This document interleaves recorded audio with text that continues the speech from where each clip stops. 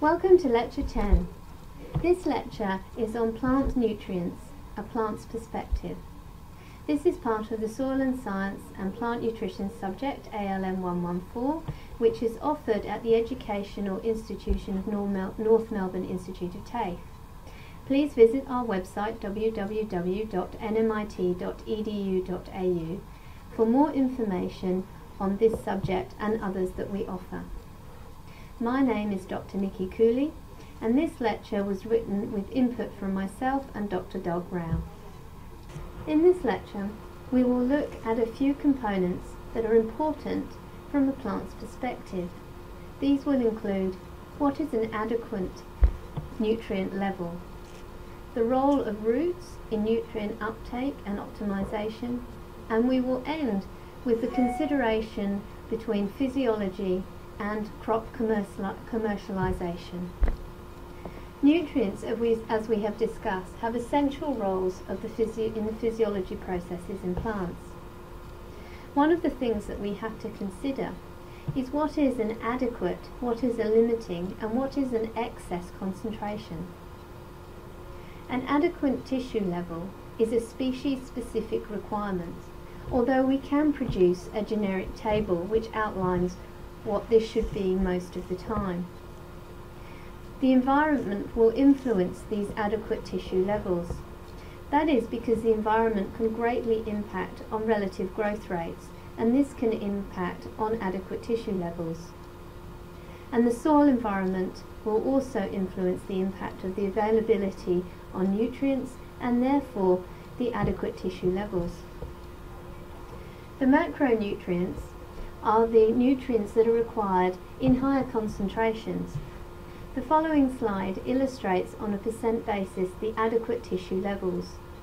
Nitrogen is required in a higher concentration than sulfur, and this is in fact reflected by some of the groupings. Nitrogen, potassium and phosphorus are the primary macronutrients, while magnesium, calcium and sulfur are the secondary macronutrients.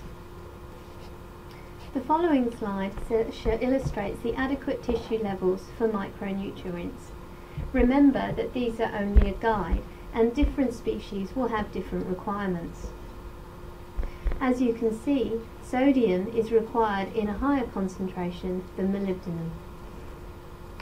The 4R nutrient stewardship is a concept that defines the right source, the rate, time and the place for nutrient application of those producing the economic, social and environmental outcomes. Therefore, what is desired by all stakeholders to the soil plant ecosystem. The 4R nutrient stewardship concept is spreading to many sectors of agriculture including farm level practice, nutrient management education and research programs, and the development of government policy. Its utili utility will be enhanced by those employing to use terminology consistently and follow a more general structure. The preferred core expression for referring to the 4Rs is the 4R nutrient stewardship. The term 4R fertilizer stewardship comprises a subset depending on the sample principles. There are four components the four nutrient stewardship should acknowledge all of these four components. They are source, rate, time and place. You can use this figure or this concept to think about your own nutrient management practices. Critical concentrations are often used to know the relationship between plant growth and yield and the nutrient concentration of the plant tissue. In particular, nutrients, nutritionalists need to know the critical concentrations of nutrients below which growth yield is reduced. The figure on the screen shows the relationship of growth of, or yield against nutrient concentration in plants. This defines zones, the adequate zone the zone where plants are in deficiency, and then zones where plants are in toxicity. These will vary for species, but the pattern tends to be generic to all plants. Nutrient concentration is low in the soil solution and therefore the nutrient availability is said to be low. Nutrient availability can depend on several soil factors. The nutrient levels in the bulk soil, the soil water availability, the soil pH, the percent clay and organic matter, and the nutrient buffering buffer capacity. Nutrient availability depends on plant factors such as soil volume explored by roots, secretion, or chelating agents, symbiosis with bacteria, particularly those of the nitrogen fixation family, and fungi. Primary and secondary deficiencies can exist in plants. These suggest low nutrient content of the soil because the parent rock is poor in that nutrient this is called a primary deficiency. An example of this may be copper deficiency in a sandy soil. The nutrient is present in sufficient amount but not available in the form required, and this is referred to as a secondary deficiency. An example of this may be manganese and zinc deficiency in alkaline soils. Primary deficiencies are easily treated, but the main cause for secondary deficiencies must be addressed before availability of soil nutrient can increase. Here we have an example of a major deficiency.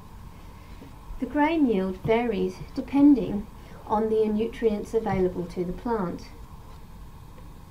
Where there was no zinc and no nitrogen, the grain yield was at 290 megs per plant. If nitrogen was added with no additional zinc, the grain yield jumped from 290 to 1,310 mg per plant. If, however, zinc was added and no nutrient and no nitrogen supplied, the grain yield was at, still at 290 mg per plant. The optimal grain yield in this case study was achieved by adding additional nitrogen and additional zinc where the grain yield was then 1,770. This would be an economically ideal situation. A second example is shown in the major deficiency of phosphorus and nitrogen. Here we can again see that phosphorus and nitrogen um, shoot dry mass will alter depending on what is available to the plant. The ultimate shoot dry mass production in this case study is optimal phosphorus and optimal nitrogen. Plant nutrients can be characterized according to their ability to move within the plant. Some nutrients can move easily, for example from old leaves to younger leaves, or from old leaves to buds, and these are considered mobile. That is, they are mobile in the phloem of the vasculum tissues. Examples of mobile nutrients include nitrogen, potassium, phosphorus, magnesium, sodium and calcium. Nutrient deficiency appears first in the older leaves for these nutrients. This is because the nutrient is remobilized to the young organs to maintain their growth. Some nutrients are mostly insoluble forms in senescing leaves, and these are considered non-mobile or immobile and are not taken up by the phloem. These include calcium, manganese, iron and boron. Nutrient deficiency appears first in the younger leaves as the nutrient cannot be remobilized. Some nutrients have variable mobility. These include, include sulfur, zinc, copper and molybdenum. So in summary, nutrient deficiency and toxicity results from an imbalance between nutrient supply, that is nutrients availability available in the soil, and nutrients demand for growth. Correct interpretation of plant symptoms can help determine which nutrient is most efficient. Plant and soil analysis are also necessary to confirm conclusions based on plant symptoms. Eliminating a nutrient deficiency requires a good understanding of its cause. The nutrient may be present in the soil but not available for the plant uptake because of other factors. This includes pH, soil moisture, etc. How do nutrients move in the soil? Well, most of the nutrient uptake by plant involves some movement of the nutrients towards the roots. Nutrient uptake by direct contact between the soil and the root usually represents a very small proportion of the total plant uptake. Nutrients move to the roots by mass flow and by diffusion. The relative importance of these two processes varies for each nutrient.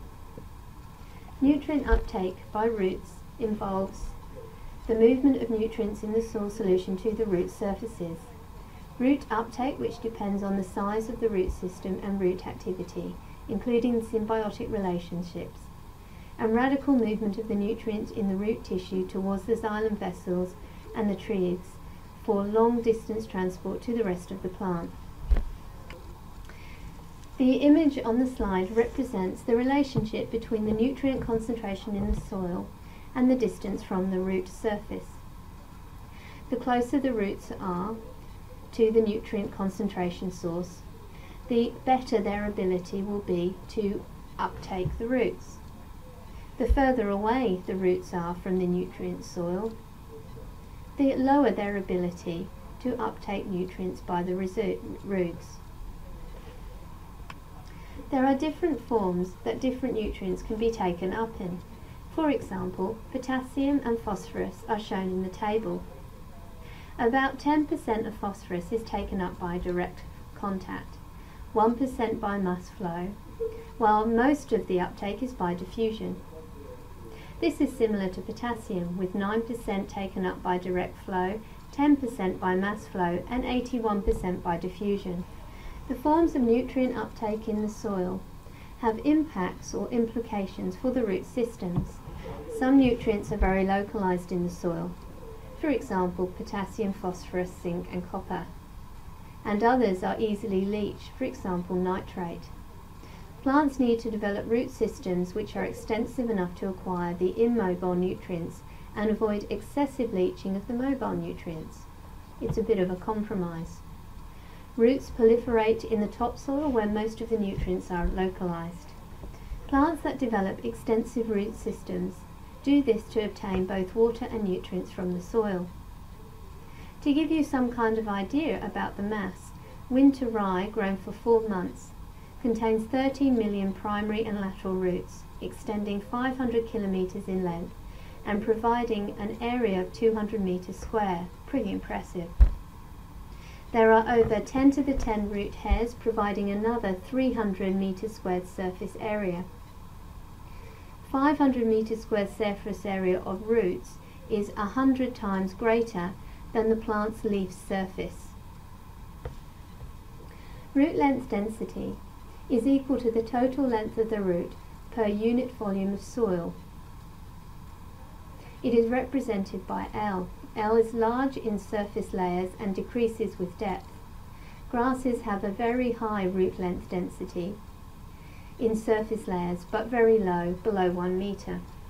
Perennial and trees have lower root length density than grasses in surface layers but higher root length density at depth. The biomass allocation to roots will depend on the availability of nutrients and water. At one extreme, plants grown in hydroponics will, with adequate nutrients, often allocate only 3 to 5% of the total biomass of roots. Water and nutrient stressed plants may invest as much as 90% of the biomass in roots. More commonly, plants allocate 30 to 50% of the total biomass of roots.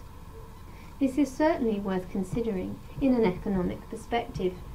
If your crop is an above ground crop and you are putting most of your resources to below ground, you are losing your optimal. However, if you do not put adequate resources into below ground, you will not be able to utilize your nutrients effectively and therefore you will lose economically in your above ground. It is a compromise.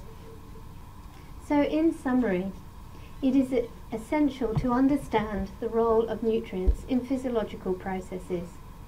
What do we mean by adequate, limiting and excess concentrations? We have reviewed the movement of nutrients in both plants and soils, and these are important to obtaining adequate nutrient levels. Nutrient uptake is dependent on roots, the root mass and the root architecture, and these govern many aspects of root growth and development.